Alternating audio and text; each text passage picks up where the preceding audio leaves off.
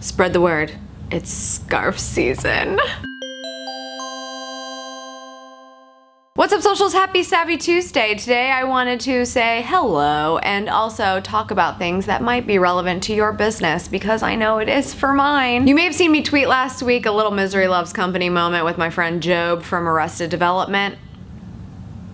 You know, sometimes you just make mistakes and you can be mad about them for just a little bit. But the most important thing is to grow from them. And I did learned that I made a little bit of a mistake last week and I thought, you know what, I'm gonna sulk right now about this and think how stupid are you? But then I'm gonna let it go after about 30 minutes. And to help myself grow from this, I of course need to tell you about it. I'm not gonna be that specific because quite frankly, it's not that big of a deal, but it has to do with taking yourself seriously. Okay, we probably say that you shouldn't take yourself too seriously, but when we're talking about your business, you actually probably should. It's easier to just wait for that moment when that lead's gonna come in, somebody's gonna call and be like, I wanna throw money at you for this, or I wanna hire you for that. And that's gonna be the moment where we're like, yes, I'm raising my prices and this is exactly who you should think that I am because that is legitimate. I actually do really good work and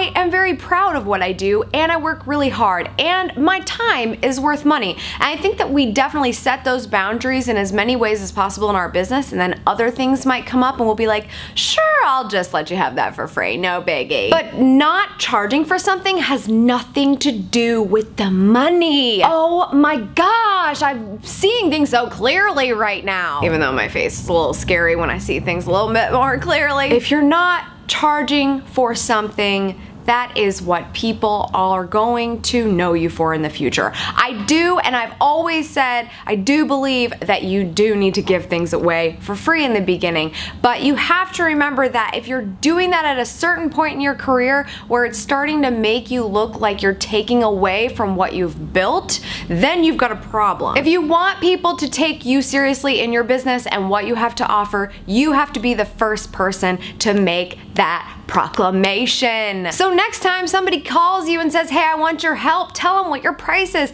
and just say it.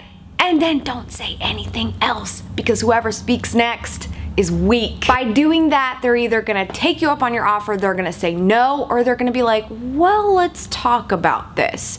And if they don't hire you, guess what?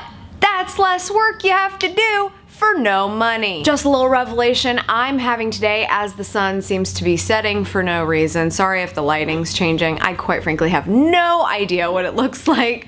Lucy's barking in her sleep. We're just losing control of the situation right now. You know, every time I try to film this, she stops chasing the squirrel in her dream. Hey, Luz. Hey, hey, Luz. Hey. Hey, Lucy, I'm filming. Hold on, I have to like throw something at her.